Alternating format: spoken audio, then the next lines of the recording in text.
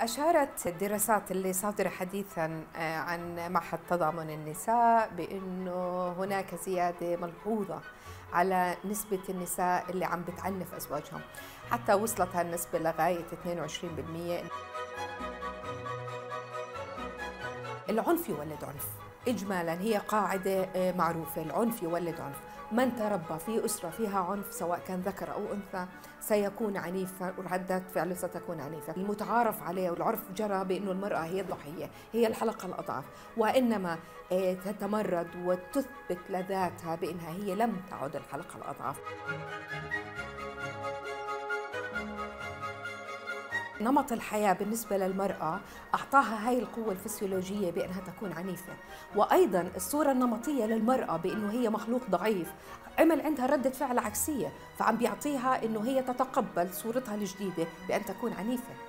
فالتغير اللي عم بيصير في مجتمعاتنا نتيجة وجود أنماط معينة من التمكين التمكين المرأة لا يقصد بأن تكون المرأة مجرمة أو أنه يمكنها للإجرام ولكن أعطاها القوة بحيث أصبحت أنه هي متمكنة ماديا وأيضا متمكنة جسديا.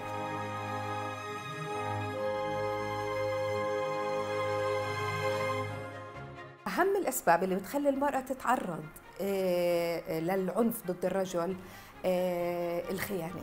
المرأة لما زوجها بيخونها تحس إنه هي طعنت في أنوثتها. فهذا الموضوع بيعمل عندها نوع من ردة الفعل العنيفة. شعور المرأة بأنها مهملة من قبل الرجل. كثير في عنا أزواج أو خطيب حتى ببلش إنه هو بده يعمل حاله هو يعني المشكلة إنه بصورة نمطية إنه هو بده يثبت رأيه وهي بدها تثبت رأيها. فعملية إثبات الرأي مين بده يثبت رأيه ومين بده يثبت إنه هو الأقوى أو هو المسيطر هذا سبب ثاني من أسباب العنف.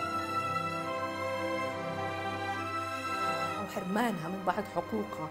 أيضا يولد لديها شعور بالضعف شعور بالحرمان شعور بالإهمال.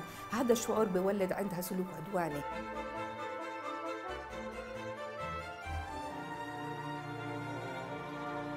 يجب أن يكون هناك برامج هادفة وبرامج علاجية وتأهيلية لهذا النوع من العنف الموجه من الزوجات ضد الأزواج أو ضد الخطيب أو ضد المحيطين قبل أن تصبح سلوكيات متفاقمة أو إنه نشهدها إنه والله صارت حالة وحالة إنه يعني شائعة بين بين الأزواج وبين الزوجات.